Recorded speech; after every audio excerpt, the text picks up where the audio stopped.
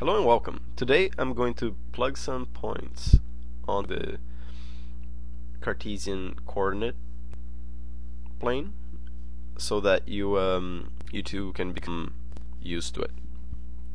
So let's say that I have a point here 2 and negative 3. Oops. Okay, so 2 comma negative 3 we always have the points displayed as x comma y. So this is the x value and this is the y value.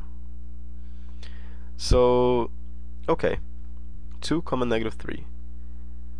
This is the origin and we call this point 0 comma 0 since the value here is 0 for x and 0 for y. Now if I have a positive value for x I'm going to go from here to the right. And if I have a positive value for y, I will go up. If I have a negative value for x, I will go to the left. And if I have a negative value for y, I will go down. So 2 comma negative 3, I will go 2 units to the right and negative 3, so 3 units down. One, two, three. So that would be our point right here. 2 comma negative 3. Okay. Now let's say that I have 5 comma 10. So x is 5, y is 10. So I go 5 units to the right. 1, 2, 3, 4, 5. And 10 units up because y is 10. Positive 10. 1, 2, 3, 4, 5, 6, 7, 8, 9, 10. I hope I got that right. Hopefully I counted it correctly. So 5, comma 10. Um, now, let's say I have something like negative 3 comma 5.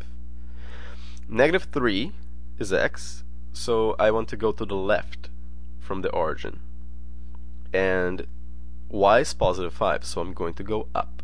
So 1, 2, 3 to the left, 1, 2, 3, 4, 5 up. Oops, yeah, well, it's right there. I'm going to make it a larger point. Negative 3, comma 5. Now, I want a point that will have both coordinates being negative. So let's say negative 5 comma negative 4. Now I need to go to the left since x is negative and I want to go down because y is also negative. So 1, 2, 3, 4, 5. 1, 2, 3, 4. Right here. Negative 5 comma negative 4. Now, what if I have a point like 3 comma 0? 0. Hmm, okay. So we don't go up or down at all, since that's the y value. 3 is the x value. So we go to the right by 3 from the origin. So 1, 2, 3. And we don't go up or down at all, so we stay here. And this line is called the x-axis. So this point is on the x-axis. Similarly, if we have something like, say, Oops, actually, I meant uh, 0, comma 7. We will stay on the y-axis because we don't go to the right or to the left at all since the x value is 0. So, oh yeah, and I forgot to write 3, comma 0 here. Okay. So, alright, 0, comma 7. We don't go left or right, but we go 7 units up. 1, 2, 3, 4, 5, 6, 7,